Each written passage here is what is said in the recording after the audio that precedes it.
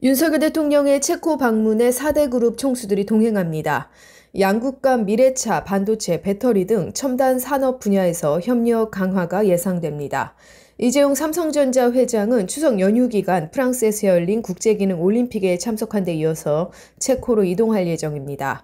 최태원 SK그룹 회장은 원전, 배터리, 반도체, 에너지 등 분야에서 협력 기회를 모색할 전망입니다. 정의선 현대차 회장은 체코 공장 점검을 비롯해 글로벌 전동화 전략을 살필 것으로 예상됩니다.